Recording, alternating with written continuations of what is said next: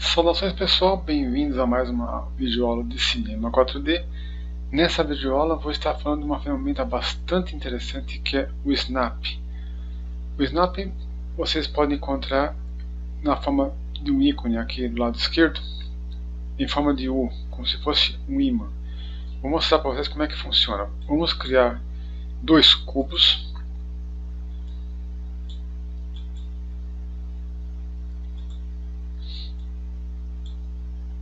estar rotacionando aqui um pouco e colocando no modo frontal para que você possa ter uma melhor visualização. E esse segundo cubo aqui vou diminuir um pouco com a escala deixar ele bem menor do que o outro. Vou estar posicionando ele mais aqui em cima só vou explicar como é que funciona, pessoal.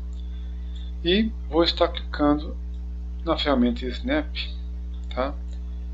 E botando ele aqui para mostrar as opções que vai ter.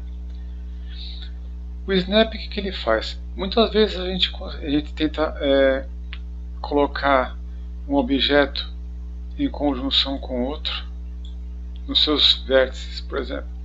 Eu queria que, por exemplo, esse, esse cubo ficasse é o centro dele nivelado com o vértice. E muitas vezes não temos como fazer porque teria que calcular tamanho, calcular precisão aqui, então ficaria difícil. O Snap ele nos, nos auxilia e ajuda muito nesse tipo de problema que a gente possa estar tendo, certo pessoal? Então eu vou só mostrar aqui clicando um pouco aqui a, a culpa. Aqui vocês podem ver, temos Enable Snap, Auto Snap, 3D, 2D. Eu vou clicar no Enable Snap e vai aparecer essa opção aqui do Vertex Snap. O Vertex Snap ele vai mostrar exatamente aonde que está o vértice do cubo.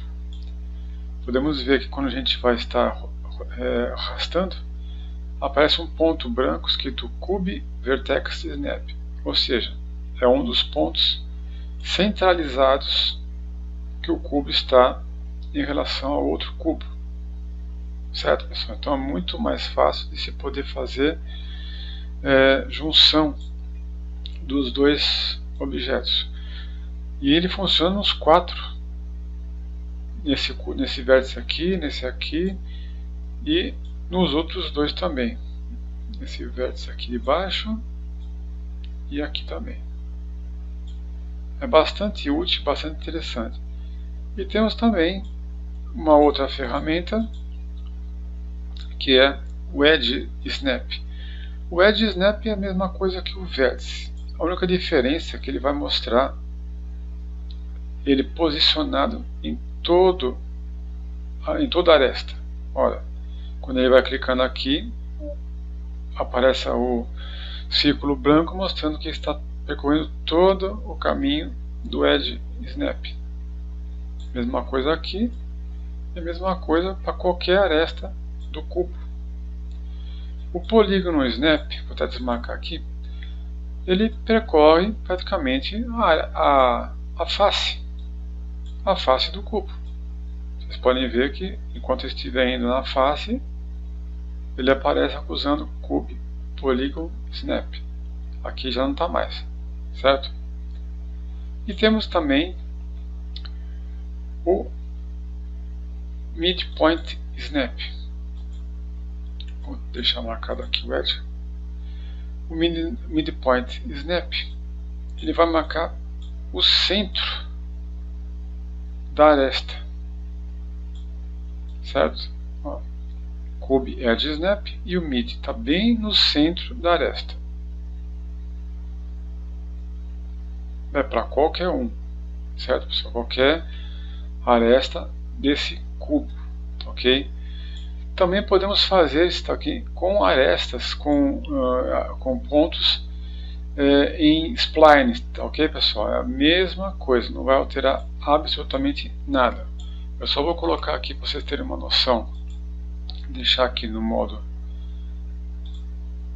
de frame default e vou clicar aqui no modo de frente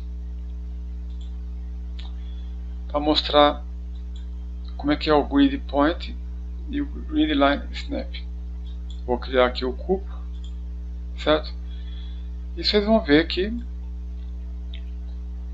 aparece também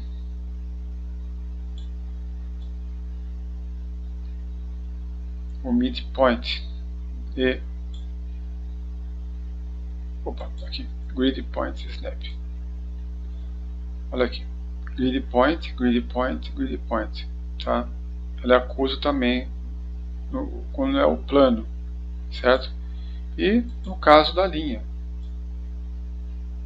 linha,